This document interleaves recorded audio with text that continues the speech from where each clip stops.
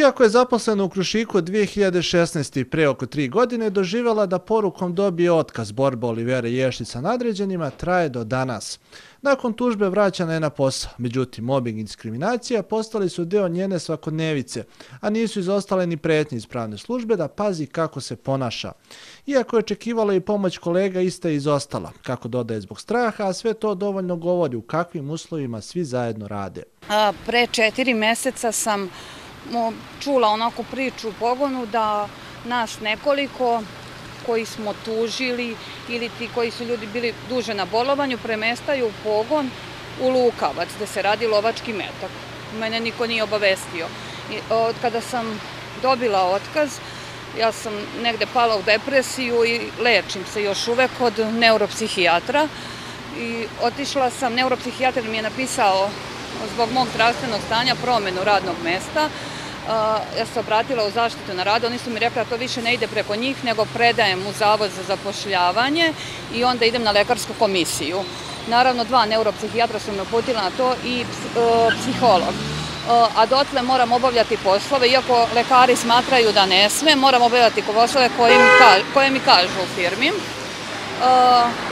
kada sam došla u zaštitu na radu, dečko po imenu Stefan mi je rekao pa ti više nećeš raditi na tom radnom mestu na kojem si do sada radila, ideš u Lukovac i pa ide sa mnom da popuniš upitnik zaštite na radu.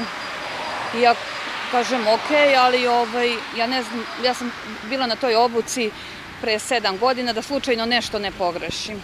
Kaže, tu smo mi da ti pomognemo.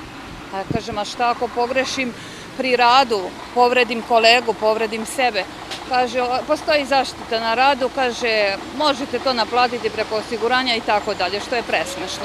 Pre potpisivanje novog ugovora neophodan je bio lekarski pregled, a pravnica je poručila da će biti poslat na kućnu adresu. U slučaju da ga ne potpiše, sledi novi otkaz. Na redovne kontroli sam bila u ponedeljak od neuropsihijatra. Kada sam se vratila kući, stigla mi je pošta, naravno ovaj, ugovori o radu, i ja sam se ponovo, potresla sam se baš, eto, negde slično, možda i više nego kada sam prvi put dobila otkaz.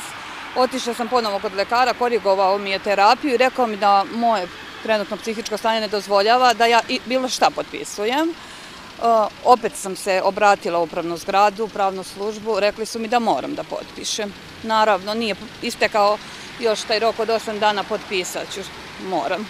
Izrasteni radnici su kako ističe naglasili da sve više ljudi iz Krušika traži pomoć jer ne mogu da trpe maltretiranja i mobbing. Ja mogu navesti da je bezbroj ljudi napustilo samo posao, u suštini to im je i cilj. Posebno moja priča što sam uradila, to što sam uradila, što sam obavestila javnost o tome što mi se desilo kada sam prvi put dobila otkaz, naravno, naravno ovaj, da žele jednostavno da me se otarase. Traže način da mi daju otkaz kontaktirala sam predsjednika jednog sindikata koji mi je rekao isto da nas koje šalju u Lukavac, da prosto će naći način da bi nas otpustili. Da li to tehnološki višak, da li će taj pogon otići u stečaj ili kako god, negde u, tu tematiku se toliko i ne razumem. Ovaj, prosto mm, nisam još, još uvek sam na, na bolovanju, nisam ovaj, išla u taj pogon. Kolege što su mi rekle, rekle su mi da je bila inspekcija rada, da su ustanovili dosta nepravilnosti.